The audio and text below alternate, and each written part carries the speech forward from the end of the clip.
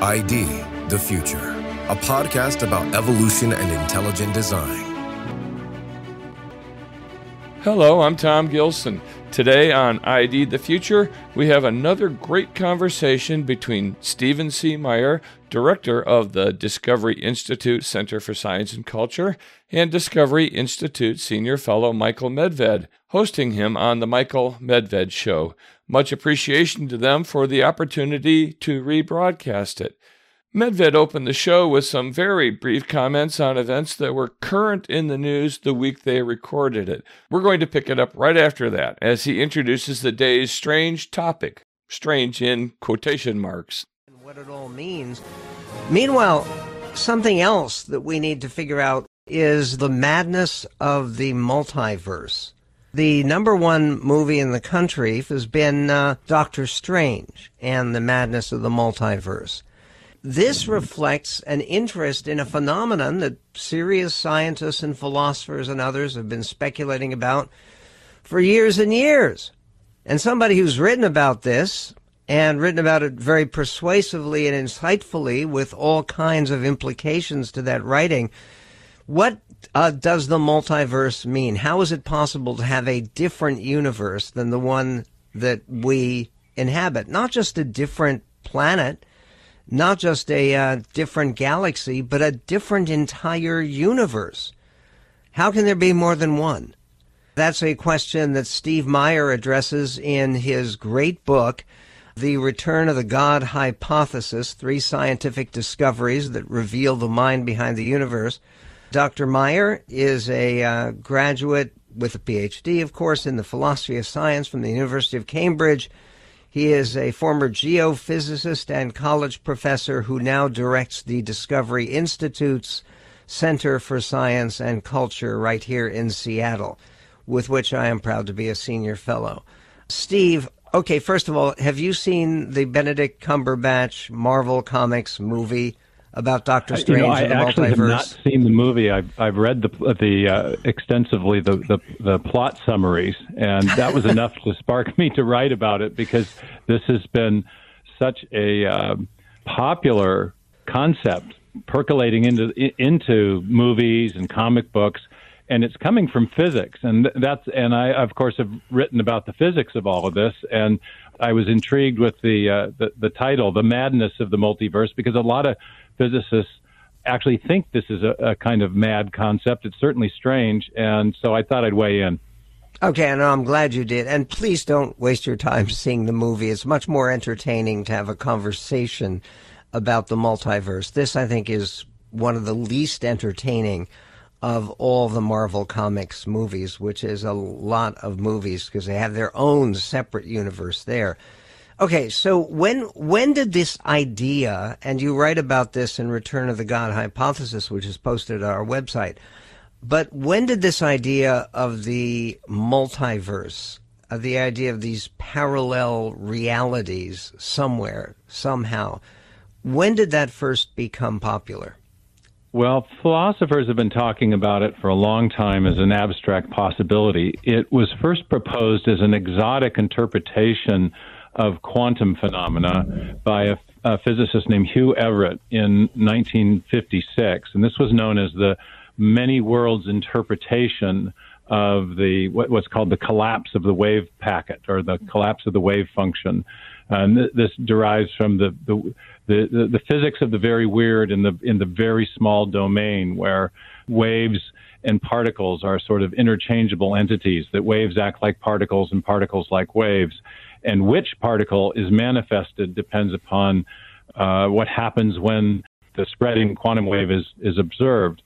So there's a kind of a range of possibilities that are actualized by an observation. And he- Everett proposed that there wasn't just one particle actualized by an observation, rather, all possible uh, particles that could exist and with different momenta uh, would exist in some possible world every time there was an observation made. And then there were then there were other versions of this uh, parallel universe idea that came out of cosmology, a cosmological theory known as, known as inflation, and finally string theory. There was an interpretation of string theory that also posited this. So the physicists have been uh, postulating this idea as a kind of an exotic interpretation of some of the phenomena that we are aware of in physics. And then it started to percolate into into uh, popular culture, um, largely because of the Marvel people with the comics first, and now the movies. Okay. First of all, as I understand the real multiverse theory, it doesn't assume that each different multiverse doesn't have its own intelligent beings in it, does it? Well, it assumes that anything that exists in this world can exist in an infinite number of variations in an infinite number of other universes, which is what's so odd about it.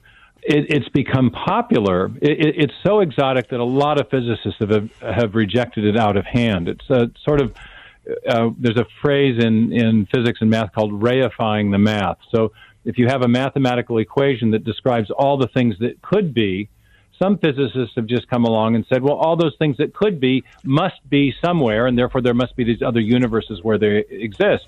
And since there might be alternate versions of ourselves as possibilities, then they must exist too. But that's so strange and so exotic that most physicists initially rejected this out of hand it's become popular because of another thing that physicists have been unable to explain, which is known as the fine tuning or the, the, the cosmological fine tuning of the universe. Well, you, you write about that in your book. We were just talking to Dr. Denton about uh, his new book, The Miracle of Man, which is also about fine tuning that makes human beings possible. Uh, what what is that additional phenomenon you talk about as fine tuning that the uh, multiverses are attempting to explain? That's a that's a, an excellent question. It, that is really the thing that's be, made this whole uh, speculative postulation so interesting.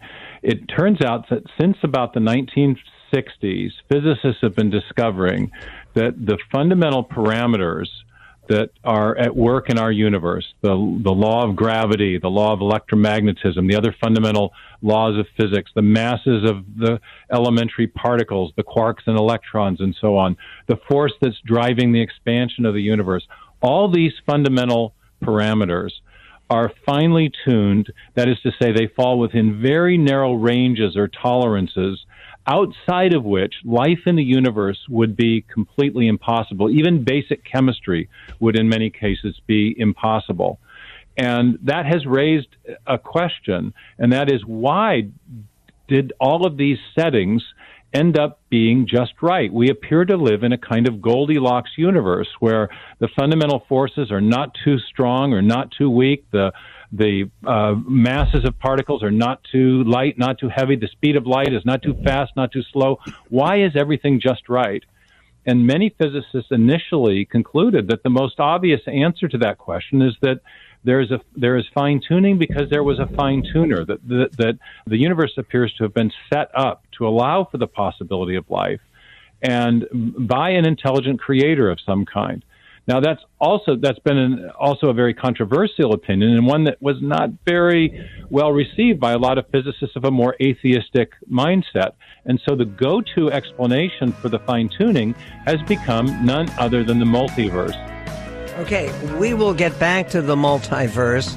And is there the same higher power, supposedly, that is uh, governing each one of these different universes, or a, a whole array of them.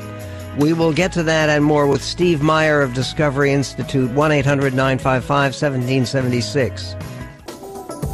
Medved. In my opinion, he's the most powerful man in the world. The Michael Medved Show.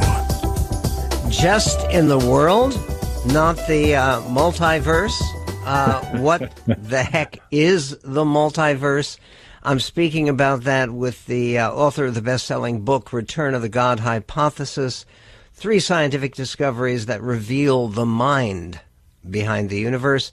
And I'm speaking to the mind behind the Center for Science and Culture of Discovery Institute right here in Seattle, uh, Dr. Steve Meyer. And uh, Steve, we're talking before about how the idea of multiverse the idea of many different parallel universes, all of which could replicate some elements of the other. The uh, one of the key differences between two of the universes that you see in the new Marvel movie with Doctor Strange is uh, there's an alter- alternate universe where they're in an alternate New York City where red light means go and green light means stop. That's the kind of level of difference. I, I take it we're talking about a more substantial level of difference than that. It, that small level of difference, or any other. One scientist has quipped that uh, in the multiverse, there's a universe in which Mother Teresa is an axe murderer. And we could maybe go further and say there's a multiverse where Michael Medved uh, is a supporter of AOC. I mean, it could be as different or as similar as you like, you know. Right. You can make it make it for yourself. Well, what is all that attempting to explain? Well, it, there there are various things that the multiverse was invoked to explain, but the reason it's become really popular in physics is that it has become a go-to atheistic explanation for the fine tuning, as we were saying before the break. And the way that works is is is like this. Yes, uh, the the proponent of the multiverse acknowledges the probability of getting all these physical parameters just right to allow for a life conducive universe is infinitesimally small. But if we can imagine that there are an infinite number of other universes out there, then inevitably the right combination of factors would have had to have arisen somewhere. That sounds logical on its face, but even the multiverse proponents have acknowledged there's a problem with that. And that is that if these other universes are causally disconnected from our own, if they are literally separate universes, then whatever happens in another universe has no effect on anything that happens in this universe, including whatever the process was that gave rise the, the, the probability of the process that gave rise to the different fine tuning parameters here in this universe. So, in virtue of that, the multiverse proponents have additionally advocated that there must be some kind of a universe generating mechanism that allows them to portray our universe as the lucky winner of a great cosmic lottery, where this universe generating mechanism is spitting out different universes um, one by one uh, across a vast stretch of time. So eventually, yes, there is a process that would produce the lucky winner. But that's where the real rub comes in, because it turns out that the various universe generating mechanisms that have been proposed, some based on string theory, some based on something called inflationary cosmology, themselves require prior unexplained fine tuning in order to generate new universes. And so we end up going uh, back right where we started with the ultimate fine tuning that's responsible for all the different universes and a universe like ours popping out of that universe generating machine as being something that's unexplained. And yet we know from experience the one thing that does account for fine tuning, where we're talking about something like an incredibly improbable array of parameters that all collectively result in some advantageous outcome, uh, whenever we see fine tuning, whether it's with a French re- uh, recipe or an internal combustion engine, it's always the result of an intelligent agent. So, given that the the multiverse doesn't ultimately explain the fine tuning, um, we're back to where we started with the need for a fine tuner. Okay, when you start talking about a universe generating machine, you know, I'm thinking of Sherman and Mr. Peabody uh, from the old Rocky and Friends, a, a universe generating machines. Uh, surprisingly, and there's no such thing as a coincidence, there literally is just now a news story that came down the line. The headline is NASA says something strange is happening with our universe. And the subheading is observations also showed other galaxies are moving away from our Milky Way faster than thought. Uh, and then another headline it says ghostly unseen mirror world might be cause of cosmic controversy with Hubble constant. Uh, okay, is this uh, is this something that the uh, the Hubble Space Telescope and the other space telescope they just launched is really confirming? I mean, would they have any way of perceiving? The impact of an alternate universe? Uh, they don't really have any way of detecting an alternative universe, although there have been some uh, very indirect sort of tests or observations, potential observations proposed. The, what you're just describing with the evidence that the galaxies are moving away from us even faster than previously thought is really only relevant to our universe, but it's an incredibly exciting find because it suggests that not only is the universe expanding outward from a cosmic beginning, but because of the rate of the acceleration of those distant galaxies, we now know that there's really no possibility of a future recollapse and therefore an infinite oscillation of expansions and contractions that some physicists proposed might still rescue the idea of an infinite universe in time, that we might have been expanding and contracting for an infinitely long time, and therefore there wouldn't need to be the postulation of a beginning. But in fact, that new evidence is providing additional support for the idea that there is one great expansion occurring faster than we thought outward from an initial beginning or singularity, which marks the, the creation of the universe itself. And what what that means to people is, is sometime in the next several billion years, it's unlikely that the whole thing comes crashing down.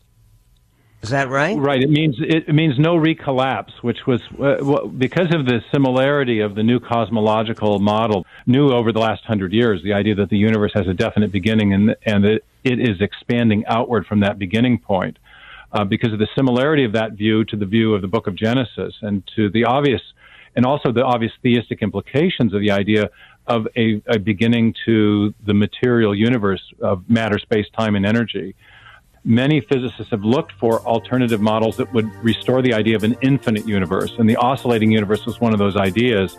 But now that we know that the universe is expanding as rapidly as it is, it's expanding too rapidly to allow for a gravitational recollapse, therefore indicating that, yes, indeed, there was a beginning. We won't have an infinite cycle of expansions and contractions. Steve Meyer, uh, his book, uh, information posted our website, The Return of the God Hypothesis. Eager for you to return, my friend. We've been listening to Stephen C. Meyer talking about the origin of the universe and intelligent design with Michael Medved on The Michael Medved Show. We appreciate your listening with us to this great content. We're convinced these topics are important, so we'd be grateful if you'd pass the word along to a friend just send them to idthefuture.com. And thank you for doing that. Until next time, for ID the Future, I'm Tom Gilson. Visit us at idthefuture.com and intelligentdesign.org. This program is copyright Discovery Institute and recorded by its Center for Science and Culture.